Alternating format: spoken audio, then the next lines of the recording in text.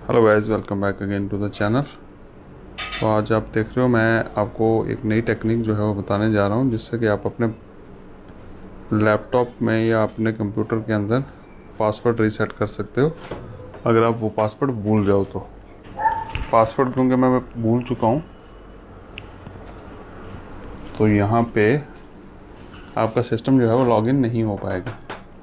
ठीक है तो अब इसका मैं सोल्यूशन आपको बताऊँगा कि किस तरह से आप पासवर्ड रिकवर कर सकते हो without using any C D U S B और कोई भी बैकअप जो है आपके पास नहीं है, उसको यूज़ किए बिना without losing the data you can recover your password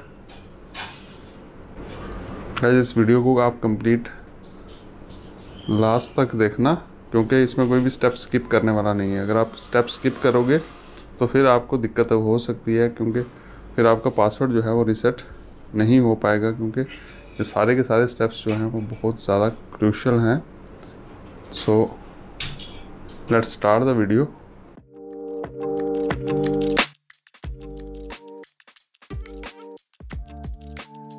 so so guys आपको करना क्या है? जैसे आप ये देख पा रहे हो स्क्रीन के ऊपर, अभी आपको ये सिस्टम को फोर्स्ड शट डाउन करना पड़ेगा। अभी आप देख सकते हैं, जैसे ये बूटिंग प्रोसेस शुरू हुआ तो मैं इसको यहाँ से पावर ये बटन दबा के इसको बंद कर देता हूँ।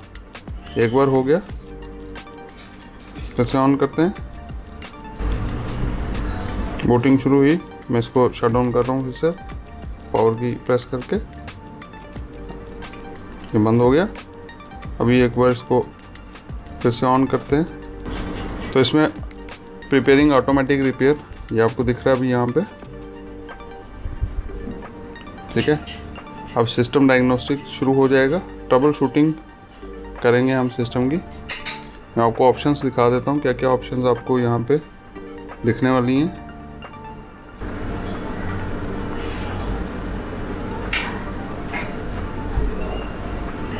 तो अभी आप देख सकते हो, जैसे ये ऑप्शंस हमारे पास आ गई ऑटोमेटिक रिपेयर की तो इसमें से आपको एडवांस्ड ऑप्शन जो है, उसको सेलेक्ट करना है।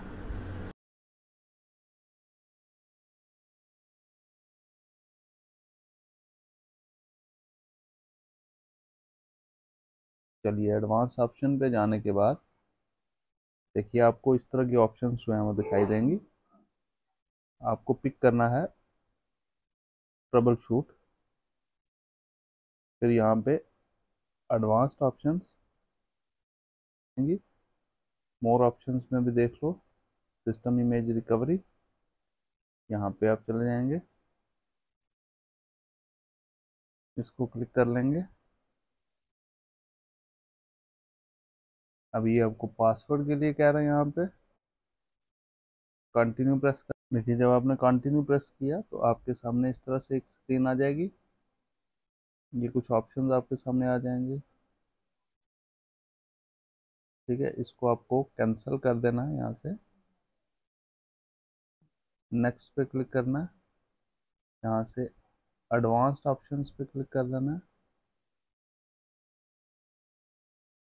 ये सेकंड ऑप्शन आप देख रहे हैं इंस्टॉल ड्राइवर इस पर क्लिक कर लेंगे।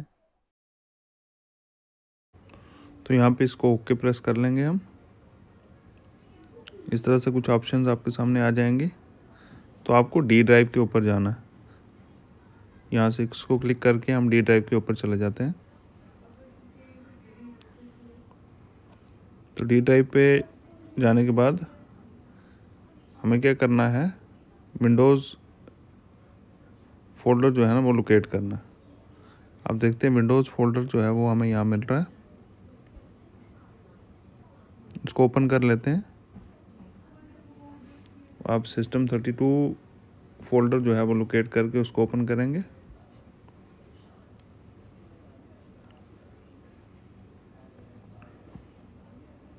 सिस्टम 32 को ढूंढ रहे हैं फोल्डर को। देखिए, जैसे ये मिल गया। अब हमें दो फाइल्स को ढूंढना है यहाँ पे।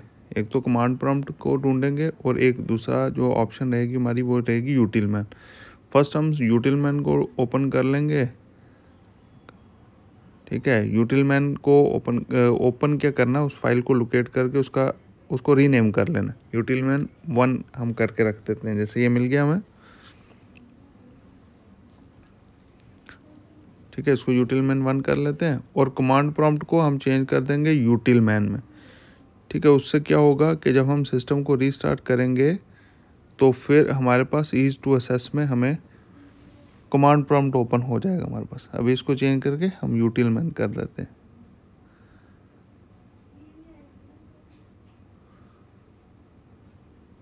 ठीक है, ये भी हो गया। अब हम इसको कैंसिल करके बैक कर लेते हैं और बैक कर लेते हैं कैंसिल करेंगे तो बैक होता जाएगा। अब हमें यहाँ के इसको कंटिन्यू प्रेस कर देना है और विंडो को लोड होने देना है।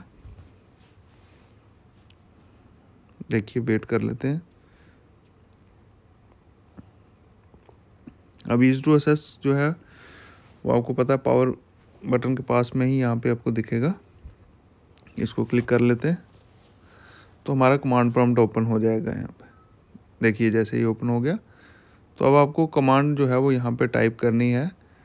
ये आपके कमांड प्रॉम्प्ट पे कमांड जो टाइप करनी है, वो आपको लिखना है नेट यूज़र तो चलिए नेट यूज़र हम इस पर टाइप कर लेते हैं।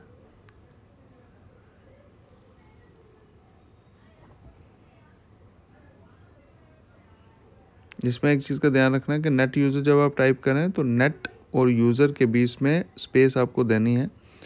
फिर आपके यूज़र जो हैं वो ओपन हो जाएँगे। अब ये अच्छे यहाँ देख रहे हैं, आप यूज़र आ रहे हैं। तो हमारा जो यूज़र जिसको, जिसका पासवर्ड हमें रीसेट करना है या हम भूल चुके हैं, वो है ये सेकंड वाला ऑप्शन जिसका नाम है जक। तो अभी इसको कैसे करना है आपने? आपने लिखना है नेट यूज़र जक स्पेस डालने के बाद आपको एस्ट्रिक डालना पड़ेगा और एंटर प्रेस कर देना। ठीक है, ये आ गया type a password for the user अभी अगर आपको टाइप करना है पासवर्ड कुछ रखना है तो रखिए, नहीं तो एंटर प्रेस करके आप आगे निकल जाइए, इसको ब्लैंक छोड़ के। ठीक है रीटाइप पासवर्ड बोलेगा।